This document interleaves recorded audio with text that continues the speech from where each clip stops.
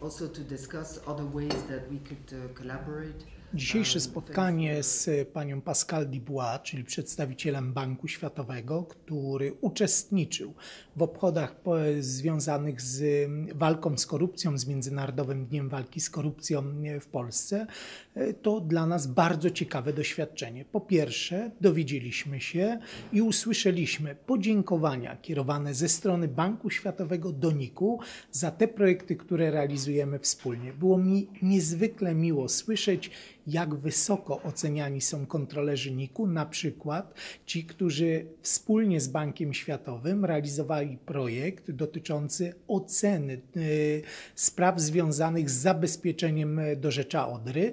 Ta wysoka ocena przerodziła się w propozycję, która padła w trakcie spotkania, żeby NIK rozważył tego typu kontrolę w związku z projektem Banku Światowego, który jest przygotowywany, a dotyczący rzeki Wisły. Bardzo także ucieszyłem się z tej wysokiej oceny NIK-u w zakresie naszej skuteczności związanej z ograniczaniem zjawisk korupcji. Kiedy słyszy się słowa, że kontrole NIK-u powodują, że ten charakter prewencyjny naszych działań wpływa na podmioty kontrolowane, podnosi efektywność wydatkowania środków publicznych, a mówiąc wprost, także działa w taki sposób ostrzegawczy sama możliwość wejścia naszej kontroli, to pokazuje, jak skuteczne mogą być nasze działania i jak są wysoko oceniane.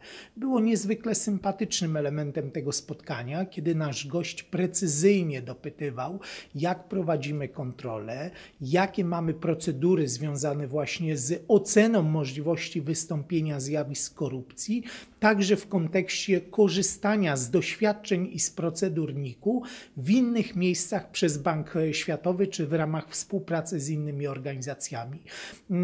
I ta informacja, że praktycznie już ten początek czynności, czyli ten podręcznik kontrolera, ta Biblia, w oparciu o którą pracują kontrolerzy NIK-u, ma tak szeroko rozbudowaną e, tą część, to była informacja przyjęta przez naszego gościa z dużym zrozumieniem, co powtórzę jeszcze raz, znalazło odzwierciedlenie w zaproszeniu NIK-u do współpracy przy kolejnych projektach organizowanych przez Bank Światowy.